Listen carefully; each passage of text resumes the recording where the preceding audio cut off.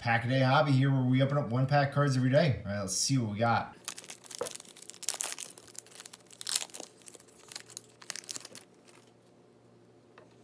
Kyle Seager, Carson Kelly, Markakis, and